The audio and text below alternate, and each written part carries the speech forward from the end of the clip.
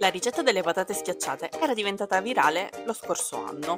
Quest'anno ho scoperto da poco la versione al pomodoro e devo dire che è buonissima. Andiamo a vedere insieme come si fa.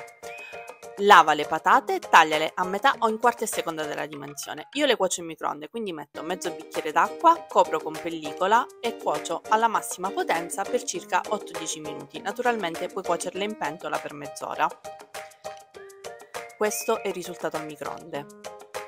Prepara una salsa, metti eh, passata di pomodoro, sale, erba cipollina e l'olio extravergine di oliva. Mi raccomando, non lesinare.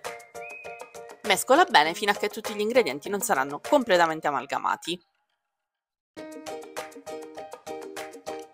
Trasferisci le patate sulla leccarda del forno. Schiacciale con un bicchiere o con un batticarne.